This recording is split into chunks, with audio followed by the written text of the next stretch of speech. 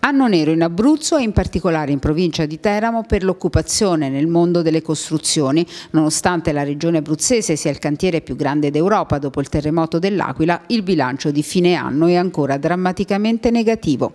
Tuttavia, le recenti scosse sismiche e i considerevoli danni registrati nel Teramano dovrebbero far pensare ad una ripresa locale del settore. Già dovrebbero, ma burocrazia e lungaggini non fanno prevedere nulla di buono. Nel 2016 il settore delle costruzioni degli edili non è stato brillante, forse questo terremoto è brutto dirlo ma potrebbe rappresentare un'opportunità, è così?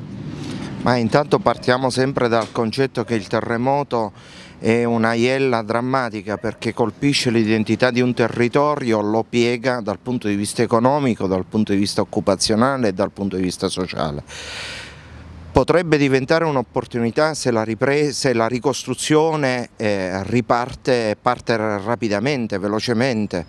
Noi abbiamo bisogno di cambiare passo perché non è possibile fare una ricostruzione con i tempi del precedente terremoto del 2009 il, solo la città di Teramo ormai conta oltre 3.000 sfollati, insomma abbiamo bisogno che eh, le, le, le, pratiche della ricostruzione vadano rapide, eh, partano i cantieri, si dia occupazione agli edili, ne abbiamo tanti disoccupati, anche quest'anno purtroppo il dato è negativo e quindi eh, come dire, la ricostruzione può diventare l'occasione di una ripresa occupazionale nel settore. E poi un ufficio per la ricostruzione proprio a Teramo?